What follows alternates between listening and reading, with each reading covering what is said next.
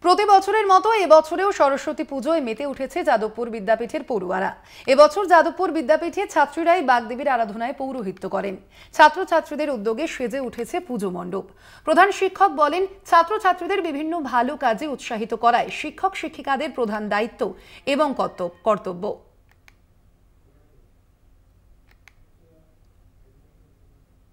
পুরোহিত দিয়ে দুর্গা আরাধনা হয়। মহিলা পুরুষের দিয়ে বিয়ে হয়, বিবাহ সম্পন্ন হয়। তো আমরা এটা সমবেত সিদ্ধান্ত। আমরা ভেবেছি যে এবছর ছাত্রীদের ছাত্রী তো মায়ের মতন মানে তো মায়ের হাতে মায়েদের, মায়ের আরা- আরাধনা প্রথমে আমাদের হেড স্যারকে সবচেয়ে প্রথমে ধন্যবাদ দিতে চাই।